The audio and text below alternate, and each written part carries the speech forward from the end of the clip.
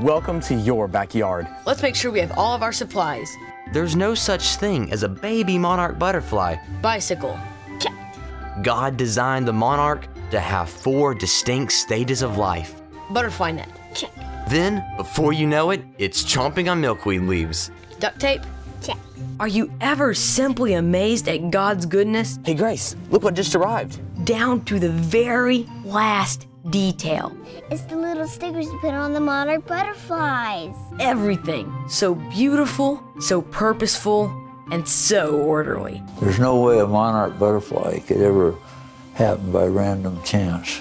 His design is always very purposeful. Would you like to see a magnified view of the caterpillar emerging? I think this next part is really amazing. Wow, look at that.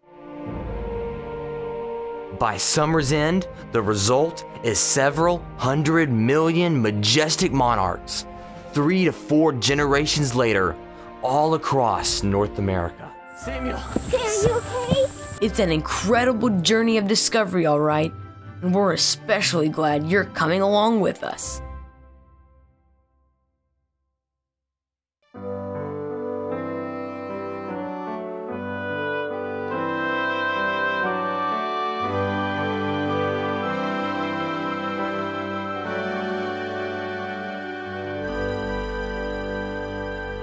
This has been a Crowe's Nest Media production.